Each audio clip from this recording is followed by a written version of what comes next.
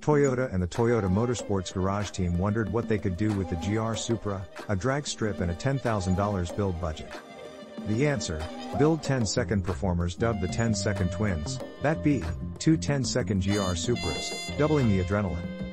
The team started with two 2020 GR Supra 3.0 sports cars and got busy with a plan to increase horsepower by 30 to 40%. A pure turbo single turbo and two CSF high performance intercoolers were added to the stock 3.0 liter inline six cylinder engine. Then worked closely with one of the leaders in the import drag racing world, Titan Motorsports, adding a catless downpipe, 3.5 inch exhaust and an ECU remap. The result is a savage, 620 horsepower and a beastly 590 pounds-foot of torque, compared to the 335 horsepower and 365 pounds-foot of torque the engine makes from the factory. Other upgrades includes Weld Racing and Mickey Thompson performance tires and wheels for maximum traction at launch, as well as upgraded rear axles from Driveshaft shop to complete the package.